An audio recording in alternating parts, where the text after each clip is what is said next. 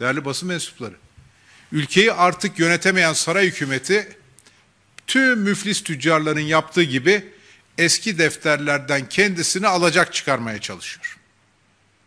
Bundan yaklaşık 8 ay önce Amerika Birleşik Devletleri'nde Demokrat Parti'nin başkan adayı tarafından söylenmiş kabul edilemez sözler saray tarafından daha yeni yurt içi siyasete servis edildi. Troller, havuz medyası, saray yanaşmaları, saray beslemeleri, sarayın propaganda başkanlığı dört bir koldan sekiz ay önce söylenen bu sözleri bugün büyük bir coşkuyla köpürtüyorlar. Sekiz ay önce bu laflar söylendiğinde bu ülkenin Dışişleri Bakanı neredeydi? Bu densizliğe ne cevap verdi? O koskoca gökdelenleri tahsis ettiğiniz, başındakilere çifter çifter maaşlar bağladığınız iletim başka, iletişim başkanlığı ne işe yarar? Anadolu Ajansı ancak geçtiğimiz Mayıs ayında Biden'ın sözlerini İngilizce haber yapmış. Ama o da Türkçe haber yapmamış.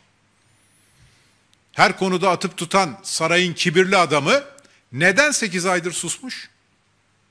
Bu milletin hakkını, hukukunu, haysiyetini ne biçim koruyorsunuz? Neden tam 8 ay sonra konuyu iç siyasete malzeme yapıyorsunuz? Bu lafları söyleyen, bu hadsizliği yapan kim?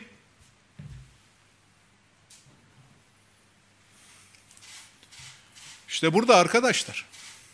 Şu kucaklaşmaya bakın. Bu ne biçim hasret giderme? Bu ne biçim bir kucaklaşma? Öpmeler, kokmamalar, bağırlara basmalar.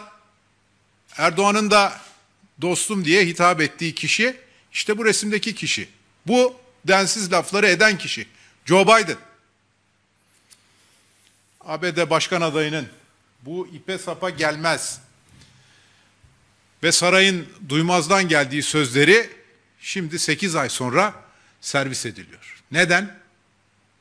Çünkü milletin kendilerini gördüğünü, notlarını verdiğini ve ilk sandıkta kendilerini evlerine göndereceğini gördükçe artık dışarıdaki örtülü kankalardan da medet ummaya başladılar. Evlerdeki tam takır buzdolaplarının, boş tencereleri ve işsizlik afetini millete unutturmak için her gün yeni bir senaryo, yeni bir unsur servis ediliyor. Biden'ın sözleri bize uymaz. Bizler başkalar gibi başkaları gibi siyaseti emperyalistlerin projelerinde eş başkan olmak için yapmayız. Büyük Orta Doğu projesi eş başkan olmayı kabul etmeyiz. Çok açık söyleyeyim. Amerika'ya giderken emperyalistlerin ayağına giderken talihsizlik CHP'nin ABD karşıtı olması diye konuşanlardan biz hiç olmayız. Bizden Amerikan 6. filosuna filosunu kıble yapan çıkmaz. Bezden ecdadımızın türbesini sırtlayıp kaçarken vatan toprağını teröriste bırakan hiç çıkmaz.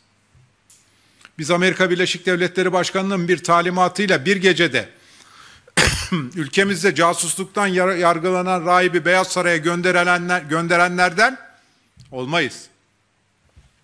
Bizden aptal olma diye yazdığı hakaret dolu mektubu Amerika Birleşik Devletleri Başkanı'nın yüzüne çarpmak yerine ona mahcup bir ile takdim eden lider çıkmaz. Bizden Suriye'de 36 askerimizi şehit edenlerin ayağına Moskova'ya gidip kapısında ayakta bekleyen genel başkan çıkmaz. Bizde savunma sanayimizin göz bebeği Sakarya Tank Palet Fabrikası'nı Katar ordusuna bedavaya peşkeş çeken olmaz. Bizden Suriye'de başlattığı Barış Pınarı Harekatı'nı Amerika Birleşik Devletleri Senatosu mal varlığını sorgularım diye tehdit edince apar topar durduran yönetici hiç çıkmaz. Bizim demokrasi ve özgürlük mücadelemiz hiçbir emperyalist himmete muhtaç değildir. Bizler özgürlük ve bağımsızlık benim karakterimdir diyen büyük bir önderin kurduğu partinin neferleriyiz. Biz bizim tek desteğimiz milletimizdir. Çünkü biliriz ki egemenlik bila kaydı şart millete aittir. Biden'a tavsiyemiz kankası Erdoğan'ın değirmenine su taşımaktan vazgeçmesidir. Değerli basın mensupları, bu ülkenin yönetilmediğini, sarayın ve şürekasının milletten koptuğunu uzun süredir tekrarlayıp duruyoruz. Bir 15 Temmuz gazimiz hakkında sırf genel başkanımızla görüştü diye gazilik raporunun yeniden değerlendirilmesi kararı verilmiş. 15 Temmuz'da uçan saraylarında gizlenip kendilerine inecek güvenli havaalanı arayan, sonra da kendi milletvekillerine darbeye karşı durun, hemen meclise gidin, ben de geliyorum diyen genel başkanımızdan hesap sormaya kalkan, sarayın kibirlisinin yönetiminde geldiğimiz noktaya bir bakın. Bunlarda zerre kadar samimiyet, zerre kadar minnet duygusu yok. Siz havada dolaşırken bu insanlar darbe yapmaya kalkışan ortaklarınıza karşı göğüslerini siper edip demokrasimizi korumaya çalışıyorlardı.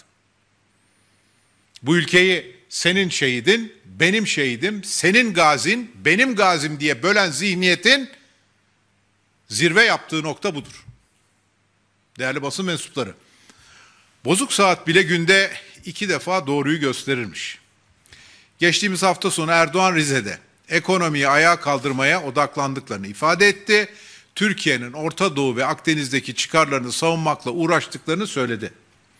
Türkiye'nin gerçek gündemi bunlardır dedi. Uzun zamandan beri ilk kez bir söylediğine katılıyoruz. Evet Türkiye'nin gerçek gündemi hayat pahalılığıdır. 10 milyonu aşan işsizlerdir. Buzdolabıdır. Boş boş buzdolabıdır, boş tenceredir. Türkiye'nin Doğu Akdeniz'de hayati haklarının savunulmasıdır. Peki 18 yıldır bu ülkeyi yönetenlerin yaşanan ekonomik buhranda bölgemizdeki tüm ülkelerle kavgalı hale gelmesinde hiçbir sorumlulukları yoktur. Saraya sorarsanız yok. Bugüne kadar yaptıkları hatalara, izledikleri yanlış politikalarla ekonomimizi savunmasız bırakanın kendileri olduğunu bir türlü kabul etmiyorlar. İyi olan ne varsa onlardan, kötü olan ne varsa dış güçlerden. Ucube tek adam vesayet rejimi iki yıldır fiilen uygulanıyor. İki yıldır milletimize gün yüzü göstermediler. Ekonomide yaşanan derin buhrana, adam akıllı bir çözüm bulacaklarına ekonomik saldırı, dış güçler laflarıyla millete ipteki cambazı gösteriyorlar. Ekonomi tepe taklak giderken sarayın sosyete damadı hala televizyonlara çıkıp pembe masallar anlatabiliyor. Gülücükler eşliğinde çokomelli mi iyi, puf kek mi daha iyi polemiklerine giriyor. Ne de olsa sosyete damat. Başka derdi yok. Şimdi de çıkmış ekonomik bağımsızlık için bedel ödemek lazım diye millete akıl vermeye kalkıyor. Sizlerin beceriksizliği sayesinde bu asil millet üç ömrüne bedel bedeli ödedi zaten. Tek kişilik saray hükümeti işbaşı yaptığında dolar kuru 4 lira 53 kuruştu. Şimdi 7 lira 40 kuruşa dayandı. Avro 5 lira 33 kuruştu. Şimdi 8 lira 80 kuruşa dayandı. Bu beceriksiz yönetimin elinde dolar ve avro karşısında milli paramızın satın alma gücü kuşa döndü. Çeyrek altın damat işbaşı yaptığında 312 liraydı şimdi 760 lira. Düğün davetiyesi icra dairesinden gelen tebligata benzemeye başladı. Millet artık düğüne derneğe gidemez oldu. Sosyete damat sayesinde milletimiz pazarda, markette de ağır bedeller ödemeye devam ediyor. Bakın son iki yılda sarımsağın fiyatı yüzde 198 artmış. Kuru fasulyenin fiyatı yüzde 102. Salça yüzde 68, karpuz, şeftali yüzde 63, mercimek yüzde 60 zam görmüş. Bunlar TÜİK'in makyajlı rakamları. Milletimiz bu beceriksiz yönetim elinde buzdolabını dolduramaz, tenceresini kaynatamaz olmuş. Milletimiz sadece aşıyla değil, kaybettiği işiyle de bedel ödüyor. Damat işi yaptı, işbaşı yaptığında bu ülkede 28 milyon 733 bin kişi çalışıyor, para kazanıyordu. Şimdi çalışan sayısı 25 milyon 525 bin kişiye düşmüş. Yani iş güç sahibi tam 3 milyon 208, 208 bin vatandaşımız işini kaybetmiş. 2 yılda. Gerçek işsizlerimizin sayısı 10 milyon 570 bine gelip dayanmış. Millet bedel ödemeliymiş. E bu millet sizin beceriksizliğiniz nedeniyle canıyla, kanıyla, cüzdanıyla, işiyle, gücüyle zaten büyük bedeller ödüyor. Siz yazlık, kışlık saraylarda yaşayacaksınız. Saraylarınızda uçacaksınız. Milletin adını bile duymadığı yemekleri yiyeceksiniz. Yandaşlarınıza ihale dağıtıp kasalarınızı, ayakkabı kutularınızı dolduracaksınız diye bu millet daha ne kadar bedel ödeyecek? El insaf. Millete bedel ödemekten bahseden bu sosyete damat çıkmış. Bir de diyor ki dolar yükseliyor. Endişeleniyorum diyen sunucuya dolarla mı maaş alıyorsun diye soruyor. Valla o sunucu maaşını dolarla mı alıyor bilmeyiz. Bilemeyiz. Ama sürekli poz vermekten çok hoşlandığı kedisinin maması bile dolarla alınıyor. Bugün arabanın deposuna konan benzinin fiyatı dolarla belirleniyor. Milletin çitlediği çekirdek bile dolarla ithal ediliyor. İthal edilen iğneden ipliğe her şeyin fiyatı dolara bağlı.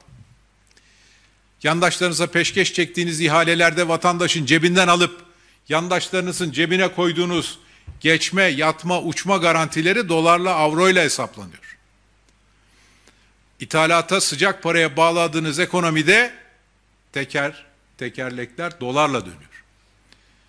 Göreve geldiklerinde 130 milyar dolar olan ülkemizin dış borcu neredeyse üçe katlanmış. 431 milyar dolar olmuş. Üç kattan da fazla. Bu ülkede finans kesimi hariç şirketlerin dış borcu şu an 165 milyar dolar. Yani dolar kurundaki her 10 kuruş oynamanın şirketlere maliyeti 16,5 milyar Türk lirası. Sene başında dolar kuru kaçtı? 5 lira 95 kuruştu. O günden bugüne artış dolar kurundaki 1 lira 45 kuruş. Yani bu ülkenin şirketleri kurdaki artış nedeniyle 240 milyar lira zarar etmişler. Kur farkı zararına girmişler. Eski parayla baktığınızda çok seviyorlar ya eski parayla söylemeyi de 240 katrilyon lira. Bu parayla Yavuz Sultan Selim Köprüsü'nden 9 tane yapılırdı. 26 tane Avrasya Tüneli yapılabilirdi. Tek kişilik saray hükümetinin bu millete, bu memlekete ödettiği bedellerden bu yalnızca birisi. Şimdi bir de yüzleri kızarmadan aya dört şeritli yol yapacağız desek inanırlar mantığıyla dolarla mı ücret alıyorsunuz diyerek milletle alay ediyorlar.